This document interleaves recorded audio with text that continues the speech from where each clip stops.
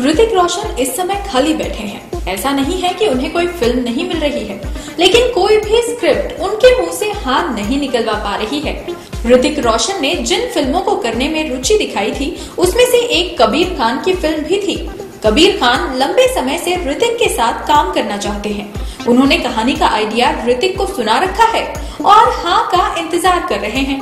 ऋतिक ने हाँ तो नहीं कहा, पर आइडिया पसंद आने की बात ज़रूर कही। पहले खबर आई थी कि ट्यूबलाइट के प्रदर्शित होने के बाद कबीर खान और ऋतिक अपनी फ़िल्म शुरू करेंगे। लेकिन अब बात बनते बनते बिगड़ गई। सूत्रों का कहना है कि ऋतिक रोशन ने कबीर की फ़िल्म करने से मना कर दिया है। इसकी सीधी सीधी वजह है ट्यूबलाइट का फ्लॉप हो जाना।